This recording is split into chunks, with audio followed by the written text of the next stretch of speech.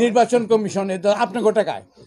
এই যে বড় বড় দামি দেড় কোটি, দুই টাকা, কোটি টাকার গাড়িতে চড়ে, এই গাড়িটা গাড়িটার টাকাটা কার? মানে আপনাকে টাকায় সে একটা নির্বাচন করতে পারব আমার এই মিয়া, এটা রাখেন। আমার প্রধান নির্বাচন কমিশনার বানায় দেন। এই দেশে সুষ্ঠু নির্বাচন হবে, আমি করে দেবো। কি করলাম, নন নাই করলাম? এখানে উপস্থিত আছেন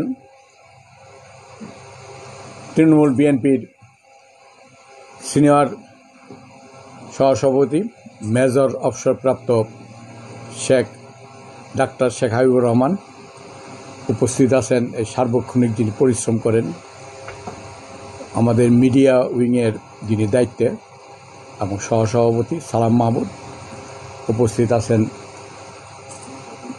Additional secretary general Khan Akkas Ali Khan এবং যার মাধ্যমে আমরা এবার চারশো পঁচানব্বইটা ফর্ম বিক্রি করছি। আমাদের একটা প্রাথমিক ফান্ডও তৈরি হয়েছে। সেটার যে দায়িত্বে ছিলেন সেটা হলো ডাক্তার রুখ রুকসানা রুক- রুকসানা আমিন সুনমা এবং আরও উপস্থিত আছেন এখানে আমাদের Trinamool BNP joint secretary Faiz Faiz হ্যাঁ? ফয়েজ চৌধুরী অ্যাডভোকেট ফয়েজ চৌধুরী। আরও আমাদের এখানে নেতৃবৃন্দ এবং আমাদের সারাদিন যেসব রাত্র আমরা সারা দিন সারা রাজ্যে কাজ করছি, এখানে আমাদের যারা স্টাফ আছে, তারাও উপস্থিত আছেন এবং আপনাদের মাধ্যমে তাদেরকেও ধন্যবাদ জানাই। এবং প্রত্যেকটা লোকেই খুব পরিশ্রান্ত। বন্ধুগণ, আপনাদের, আমাদের অন্তর, অন্তরের অন্তঃস্থল থেকে ধন্যবাদ জানাই যে আপনারা আমাদের তৃণমূল বিএনপিকে জনগণের কাছাকাছি পৌঁছে দেওয়ার জন্য সহায়ক, অত্যন্ত গুরুত্বপূর্ণ সহায়ক ভূমিকা পালন করেছেন। আমরা নিজেরাও ধারণা করতে পারি নাই যে জনগণ আমাদের প্রতি এইভাবে সাড়া দেবে। এই সাড়া দেওয়ার একটা মাত্র মাধ্যম যেটা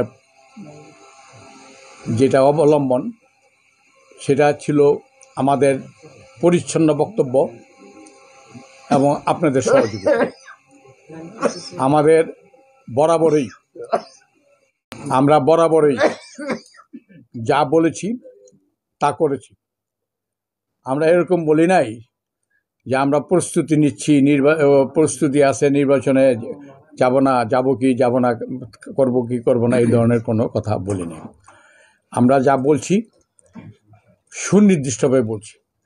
এবং আমরা যা বলছি আমরা মনে করছি যে জাতির প্রয়োজনে এটা বলা দরকার, আমাদের আল্লাহ পাকের সাহায্য নিয়ে সে কথাটা আমরা বলছি এবং সেই পথে আমরা ছিলাম। অনেকে প্রশ্ন করেন যে আমরা কেন নির্বাচনে গেলাম? অনেক দল নির্বাচনে যায় নাই। আমরাই কেন প্রথম ঘোষণা দিয়ে নমিনেশন ব্যাপার বিক্রি শুরু করলাম। বাংলাদেশে দুইটা দলই প্রথম নমিনেশন পেপার বিক্রি প্রকাশ্যে শুরু করছে। সেটা হলো বাংলাদেশ আওয়ামী লীগ এবং তৃণমূল বিএনপি। আমাদের যুক্তি ছিল যে দুই হাজার চোদ্দোতে বাংলাদেশে কোনো নির্বাচন হয় নাই, বরং একশো তিপ্পান্নটা আসনে প্রার্থী প্রার্থী ক্যান্ডিডেট ই দেখে নাই, ভোটার দেখে নাই, ভোটারও প্রার্থী দেখে নাই। হ্যাঁ টাকা পয়সা পয়সা সব গেজেট নোটিফিকেশন হয়ে গেছে। কিন্তু এই নির্বাচন আমরা ঠেকাইতে পারি নাই, এটা বিতর্কিত নির্বাচন, এটা নির্বাচনই না। সংবিধানে পাঁষট্টি অনুচ্ছেদের অনুযায়ী এটা কোনো নির্বাচনই ছিল না দুই হাজার চোদ্দে। কিন্তু আমরা তো সরকার গঠন ঠেকাইতে পারিনি। সরকার গঠন করছে এবং এই সরকারই এই আন্তর্জাতিকভাবে স্বীকৃতি দিছে সকল প্রকার চুক্তি, সকল প্রকার যে জয়েন্ট ভেঞ্চারের ডেভেলপমেন্ট পদ্মা সেতু মেট্রো রেল এরকম বড় বড় বড় কাজ এই- এই সরকারের সাথেই বিদেশিরা করছে। আসেন দুই হাজার আঠারো সাল। দুই হাজার আঠারো সালে এরকমই বহু বাষ্পরণ হয়েছে বহু আন্দোলন হয়েছে সংগ্রাম হয়েছে অনেক লোক গায়েবী মামলা জেল খাটছে এই গায়েবী মামলা ভিক্ষু করতে শুরু করে মৃত ব্যক্তি কেউ বাদ যায় নাই।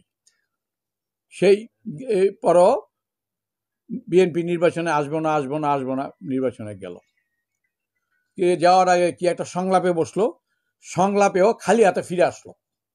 সংলাপেও বিএনপি বা বিরোধী দল কোনো কিছু অর্জন করে নিয়ে আসতে পারেনি কেমন? যে তারা যে কথা বলছে সেটা কার্যকরিতা বা সরকার তাদের কাছে কি স্বীকার করছে, কি স্বীকার করে নাই, এটা কার্যকর কোনো আমরা ভূমিকা দেখি নাই। যদি আমি একটা দলের, এই দলটা আমি করছি, এই দলের কোনো সমালোচনা আমি যাব না, কারণ এটার, এই ভালো, মন্দ সব কিছুর অংশীদার আমি, যতক্ষণ পর্যন্ত আমি এই দলটার চেয়ে ছিলাম, এটা দায় দায়িত্ব আমি বহন করতে